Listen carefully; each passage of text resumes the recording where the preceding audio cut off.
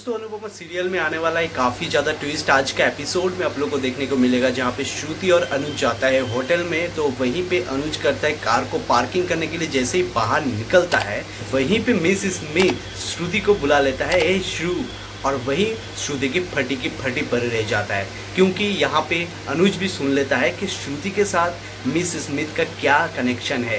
तो यहाँ पे वही पूछता है तो यहाँ पे श्रुति क्या करता है मिस स्मिथ को इग्नोर करने लगता है और आगे निकल जाता है। तो यहीं पे अनुज पूछता है कि तुम्हारे साथ मिस स्मिथ का पहचान है? क्या आ, क्या रिलेशन है तुम्हारे साथ? तो वहीं पे बताता है कि अरे यहीं पे जान पहचान मिल गया कुछ आ, उल्टा सीधा बोल के उसको निकाल देगा। तो वहीं पे दूसरी साइड पे अनुपमा क्या करता है? वहीं पे वनराज से पूछता है कि तुम उसके शादी तोड़ने के लिए और क्या क्या करोगे?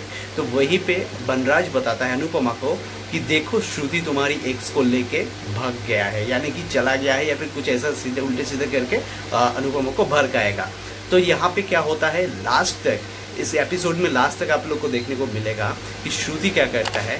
श्रुति घर आ जाता है, श्रुति और अनुज तो वहीं पर रात में श्रुति के फ़ोन पे कॉल आ जाता है मिसिस स्मिथ का।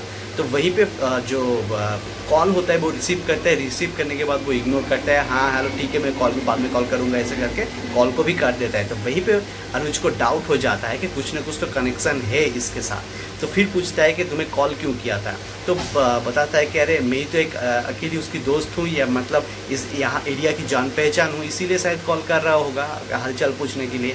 तो इस, इतना तक आप लोग को देखेगा, लेकिन अनुज को यहाँ पे पूरी की पूरी डाउट हो जाता है कि श्रुति के साथ तो कुछ कनेक्शन है और ये पूरा झोल में ही श्रुति है। तो गाइज़ आगे के एपिसोड की अपडेट पाने के लिए चैनल को सब्सक्राइब करना। यहाँ पे आपको डेली सीरियल अपडेट मिलता रहेगा। मैं मिलता हूँ नेक्स्ट अपडेट के साथ और आपका राय मुझे कमेंट पर ज़रूर बताना कि आपको क्या लगता है, क्या होने वाला है।